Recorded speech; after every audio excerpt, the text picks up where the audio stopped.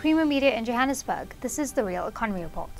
ArcelorMittal South Africa has already seen a return on investment on its newly commissioned Working at Heights virtual reality training program, used to determine trainees' fear of heights and to test their functioning at heights. Nadine James has more. The development of the program was a collaborative effort undertaken by ArcelorMittal, performance management consultancy LRMG, and animation and game development studio Sea Monster. LRMG Digital Business Development Executive Leigh Kandier explains. The problem that they were having was that they were training a lot of people and more than 50% of those people couldn't actually do the job of working at heights.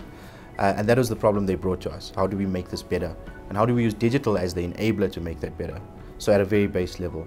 The solution in collaboration with Sea Monster and ArcelorMittal that we, we formulated was a virtual reality immersive experience. ArcelorMittal Talent Management and Innovation Manager Terrence Harrison explains his reasoning for implementing this type of solution. The environment we operate in is obviously very dangerous. It's industrial, it's, there's lots of high pressures, high temperatures, electrical, etc. If you're working in those environments, it's important to train and know the, what, what can hurt you. But that needs to be done in a safe environment.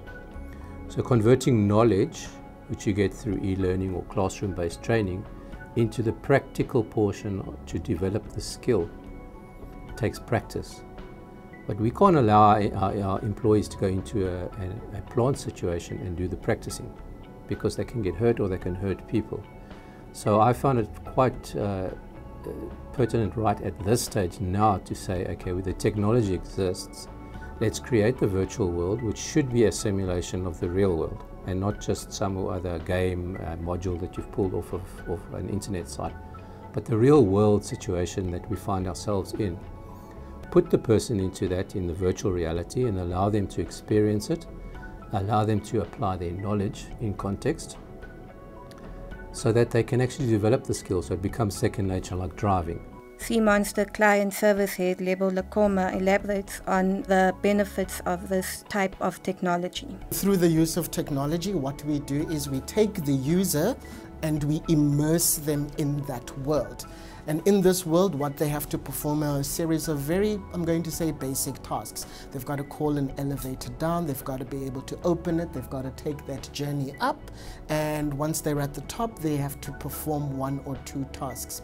While all this is happening in the background, what we're doing is we're measuring heart rate, we're choosing to focus and assess where people are looking, all as a mechanism of determining whether they are in fact suited or suitable for working at heights or not.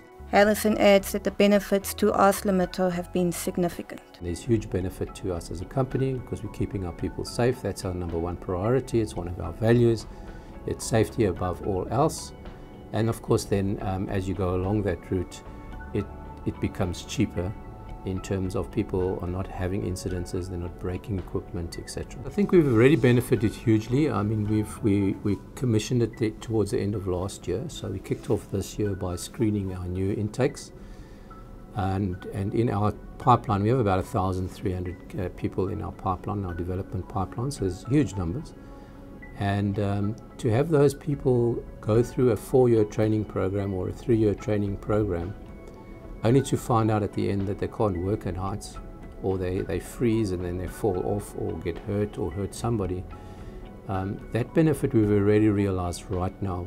So through the screening process, we've found a number of people that can't cope with heights and we've already routed them into other directions. So it's not an elimination process per se, it's more a process of, of aligning people so that they can work in a natural environment. So if they're not, a, it's not appropriate for them to do a specific trade, we would, we would offer an alternative trade to them. Other news-making headlines. CESA to focus on strengthening engineering industry through effective leadership, and Eskom cannot commit to nuclear expansion. Industry body Consulting Engineers South Africa has set effective ethical leadership and embracing the fourth industrial revolution as its priorities for this year. Leadership starts with values and purpose both of which are underpinned through governance and process. The mantras, nothing worth achieving comes easy, as well as hard work and honesty are fundamental to success, should remain the cornerstone of everything we do. As a nation, we need to answer the question of how to skill more than a generation of our country, such that we not only develop skills, but also address the social imbalances that have scarred our communities. South Africa's power utility Eskom says it cannot afford a nuclear power station expansion. Nuclear, is it affordable? If I, I don't have a sustainable balance sheet for the current 700 billion of assets of generation, transmission, and distribution now, I can't go and commit to additional expenditure around nuclear program.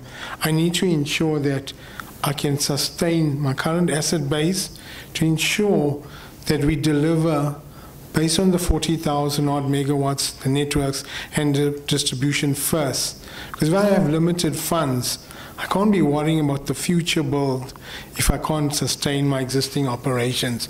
So from our side, we will focus on maintaining the current assets, completing the build program that we committed to, and then we'll have to look at whether Eskom on its balance sheet can, su can sustain a nuclear program going forward.